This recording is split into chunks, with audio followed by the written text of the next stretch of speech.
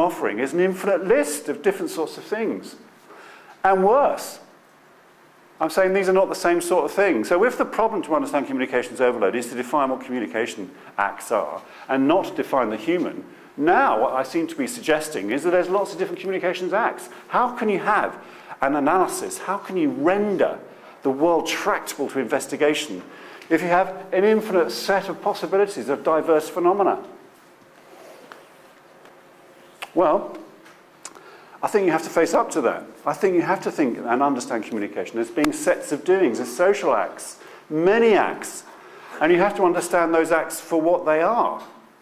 Now, what does that mean? It means, for example, if I go back, what I'm obliged to is to understand communication in an organizational context, to understand enchantment as being about romance. So when you explain that as communication, when you address the problem of communication overload, think about what enchantment entails, how, how seduction works. And does seduction fail because it's overloaded with something? Well, actually, yes, it does. Someone can be put off because someone else is too keen and their expression's too febrile. Someone can be enchanted and enticed and seduced because just a whisper has been offered, just a little tantalizing little fresh expression.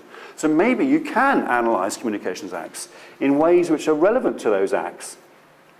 And this is the lesson that you should take from the now much neglected philosopher Ludwig Wittgenstein, who's buried just up the road from where I work, in fact, and pretty much neglected in contemporary philosophy because it's been dictated by Quine and the kind of the empiricists. His argument, he was perplexed by two sort of things. One was the questions that philosophers asked, like, how do we know there's a real world? And he said, What a stupid question. If you ask that question, there's obviously something wrong with you. He would say it's just a nonsensical question. Only philosophers construct artificial questions and then come up with an artificial method to prove it. Like Moore said, I have a, a hand here and I have a hand there and I can see them, therefore it, the world exists. And Wittgenstein's answer is, it's a silly method for a silly question. But he was also interested in another thing, which was how we're enchanted and trapped by psychology for example, at this particular moment in time, and behaviorism. And his concern was that Descartes created a vision of the world of inside and outside and created this idea that we struggle to get inside people's heads. And he said, Wittgenstein said, well, occasionally we do, but for many of the things we do, actually we start from the premise that we are in a world in common, that I know what they're thinking. It's only occasionally do you find these situations where we have misunderstandings. And we have words for it, labels for it, misunderstandings. We live in a world which is subjectively experienced, but shared in common. We live in a world in common. Now, if that is the case, why is it then we start doing things like laboratory experiments to understand what people think? He, Wittgenstein said, well, why don't you just ask them? He was suggesting that there are problems with method. Now, Wittgenstein is often associated in, in, with a kind of like an anti-scientific approach. He wasn't anti-scientific. What he was trying to suggest was that when you are thinking about things, when you're thinking about, for example, phenomena, think carefully about what that phenomena is. And once you've been thinking carefully about it, think appropriately about how you approach it. So my father-in-law is absolutely right. If you're thinking about signage on a motorway, forget human tendernesses, obligations, expressive artfulness for seduction, Think about the human as an information processor, viewing content, content coming in and being able to process a certain sort of time. Wittgenstein was saying that's right, but don't apply that method for other sorts of problems. Now, um, think, for example, in HCI, the turn to ethnography. Now, it seems to me that anthropologists are obsessed with ethnography. If you say to anthropologists, I think this would, would benefit for some laboratory investigations, or worse, quantitative stuff. They're obsessed with, deny it, it can't possibly be the case. But what you need to argue, and I think what Wittgenstein teaches is that you need to think about what the problem is. And communications acts are these, and not the same methods in every single case. So, to illustrate, I have a little way to go yet. So. One of the things I wrote about with uh, some colleagues a few years ago was about texting. And when I was then working, I was working um, as an academic trying to make a living as a consultant as well. I was trying to explain to people like Vodafone and Orange why people texted. And initial studies said that people texted because it was cheap. So we looked at teenagers and we looked at the texts and we discovered, number one, it's not cheap because the volumes teenagers texted was much, much greater in terms of the cost it implied on their wallet than if they just spoke. In fact, they weren't texting because it was cheap. They said they texted because it was cheap because they were trying to think of an excuse to mum as to why they kept asking for 30 quid. Oh, I'm just texting, mum, it's cheap. And mum would say, oh, okay, at least you're not making phone calls. But actually, they were texting, and when they were texting, they were creating this web. What they were doing was making text gifts. I send a text to my mate, and my mate has to oblige back. Now, these text gifts, some of them are obvious text gifts, like teenagers going out with each other. Boys, we had a great transcript of a boy complaining about having to send goodnight texts. He had to send his girlfriend goodnight texts, and if he didn't, he would get dumped. And so we said, what do you mean you get dumped? So, well, in the morning, she would send me a text saying, you're dumped. And then he would complain about the fact it's so cruel being dumped in that way because she doesn't have the courage to talk to you. But he felt, and he was exemplifying, that what people were using SMS for was creating a system, a kind of economic system of reciprocity. But the reciprocity of, and economics were about tendernesses, intimacies. And one of the properties about the text, and the reason why he sent a good night text, was because it arrived under the pillow. Mum and Dad couldn't see, so it was like whispering into your girlfriend's ear, privately. It, it was intimate. But one of the properties of it being intimate was not only did she see it at night, and she might send some saucy stuff back, but weirdly, the next day in the playground, they would go, hey, look. They would show the private stuff publicly. So the traffic, which turned around the fact that it was private, gave a value which meant making the private public was a real commodity in the playground. And some of it, for a middle-aged man, was very embarrassing.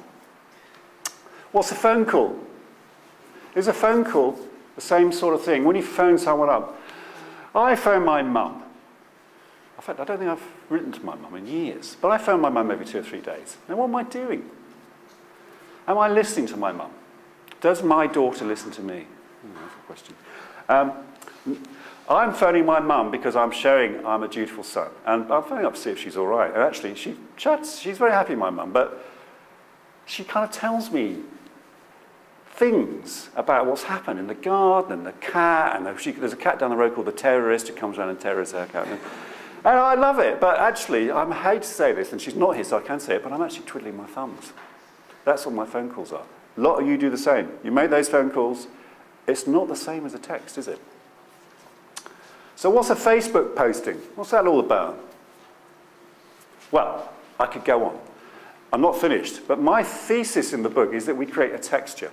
And the texture relationships between each other is, has properties, like a weave. So when you send a text, when you send a text to my wife, Abigail, has never written me a letter, and I resent this because when I courted her, I did write her love letters, long love letters. And I write long letters to my daughter, Madeline, too, and she complains about the embarrassment of having a 12-page letter arriving in a Canadian camp in a canoe. Um, but um, she, my wife will send me very sweet texts, and it arrives and it hits in here.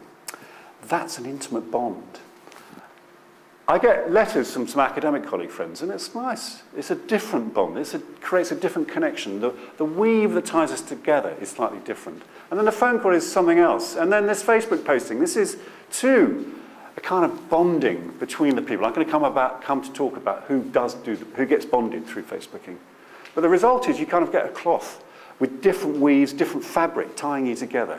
My argument, and this is how I think we need to think about it, is that communication was what makes people society, what makes society. You create society through the expressions and the techniques and the tools that you constitute this thing called texture. Now, once you take that on board,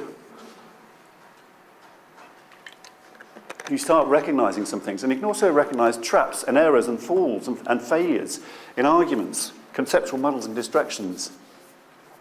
Do a lot of work with my mobile division in Microsoft, and prior to that, a lot of work with operators, mobile operators. And they're convinced that distance is the problem that their technology solves. And I say, it might have been long ago, but their technology creates something new, where sometimes space is distance is the problem to be solved, but sometimes you need the distance. It's very weird sending a text to someone you're with.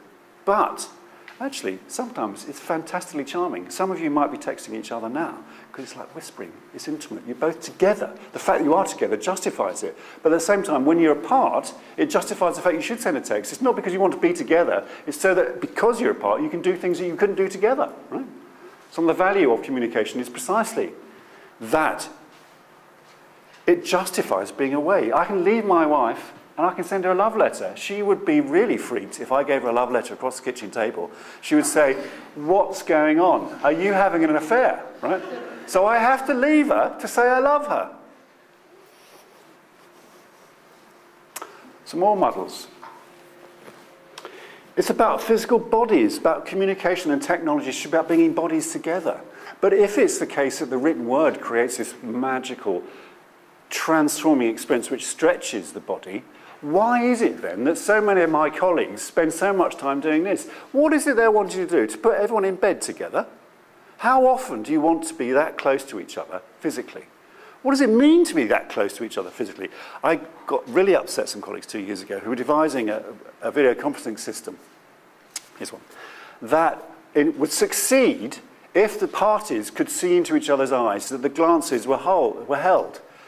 And they explained this to me, and I started giggling. I said, So, that moment when I gaze into someone's eyes, which is a very peculiar and emotionally suggestive thing, is the thing you want your video conferencing thing to do. So I'm like flirting with all these people I'm having a business meeting with. And worse, when I'm looking into them, this system would follow me, so I couldn't get out of their gaze. And this was the Holy Grail. They were bringing their bodies together. They think that communication technology is about bringing bodies together. So, where has all the artfulness? Where's the written word? Where's the difference between forms of expression? Because it's perfectly true to say sometimes you do want to be together. I do like to see my tiddler, Tatham, on a video phone call, Skype him. It makes me gush. I don't know why, but I do like to see him. And I send him emails, he has a little email account, but I don't, they're not really, they don't have content. It's just that he has some content, he has a message in his e-box, inbox at school, right? But, I, but so I, I do think bodies, bringing bodies together, is sometimes part of the texture you want to create. But it's weird to think that bodies is the, are the problem. It's a conceptual muddle.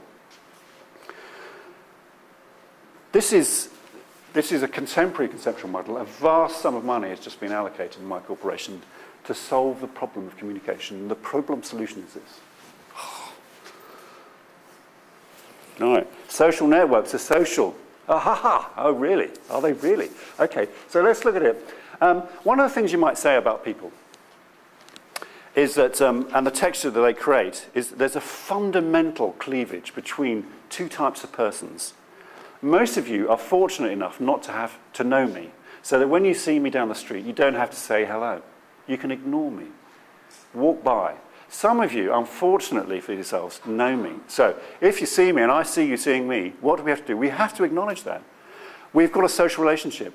You can't say no to a hello. If you do say no to a hello, you have to come up with a reason for it. For example, I'm an old dude and I can say I was distracted. I'm worrying about paying the mortgage or my wife's just left me. I have to come up with an account for not being able to say hello. Well, what's the property of social networks like Facebook well, Facebook, if you look at analysis of Facebook, Facebook's not about being yourself and then going over here into this public space and saying, hey, well, join me. If you look at what people are doing with Facebook, what people do with Facebook is say, here, gang, this is my mates, you're my mates here, let's go on Facebook together. I know I'm going to see you at school, I'm not going to see you at work, I'm not going to talk to you in the coffee room, but when we go home, let's prattle. In other words, my little social world is stretched and made even more social world and mediated in new ways. My little social world is extended, but not physically extended. There's no more bodies in it. But the great thing about Facebook, and this is very, very interesting, is that Facebook allows you to not say hello when someone else says hello to you that you're obliged to answer to. If you look at what teenagers do in America, and Dana Boyd's PhD, which is being published shortly, is a real upset for her because her argument is that social networks are about extending your social footprint. What she finds is that nearly all American teenagers use Facebook to socialize with people they already know by dint of being in the school, down the street, or relatives. But, and this is what upsets her, Facebook has a genius value. When you're in your bedroom, you get away from your parents. Madeline, my daughter, gets away from me, climbs, shows the door, and, she, and she's stuck a sign on the, on the front saying, drama queen inside. brackets, dad. In other words, don't come in, dad. Right? But being dad, knock on the door, come in, dad, what do you want? The trouble with bedroom